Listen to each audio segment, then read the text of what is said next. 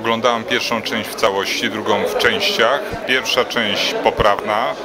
E, Byłem mile zaskoczony, dlatego że zawsze się obawiam e, takich konfrontacji, które są budowane właśnie w tej stylistyce. One są zawsze ryzykowne, ale wydaje mi się, że reżyser się obronił, artyści wypadli dobrze, dobre tempo przede wszystkim.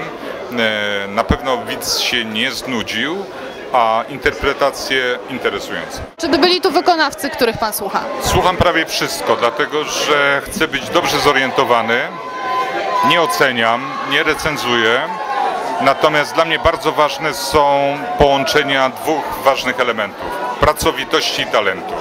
Uważam, że sam talent nie wystarczy i e, sama pracowitość nie wystarczy. Trzeba te dwa elementy e, ładnie łączyć. Na szczęście wśród polskich artystów są e, następcy takich gigantów jak Ewa Demarczyk, Czesław Niemen, Marek Grochuta. Bardzo się z tego cieszę. Polska piosenka potrzebuje festiwalu w Opolu? Potrzebuję. Ja pamiętam, kiedy byłem prezydentem Wrocławia, pojawiła się taka gi- gigantyczna presja na mnie, abym e, przejął festiwal z Opola.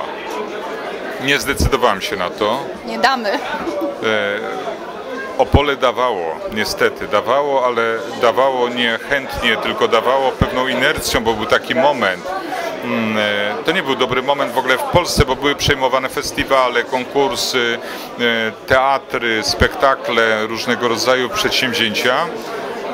E, Ja byłem zdeterminowany do tego, aby nie poddać się pewnej presji wewnętrznej, że pomimo tego, że wtedy więcej hoteli, więcej jakby szans także takich lokomocyjnych, że jednak Opole jest wartością, że jednak ten festiwal zbudował markę, że ona jest marką wspólną Wrocławia, Warszawy, Katowic, Gdańska, w Opolu właśnie, że tu musi powstać jednak ten silny impuls do obrony tego festiwalu.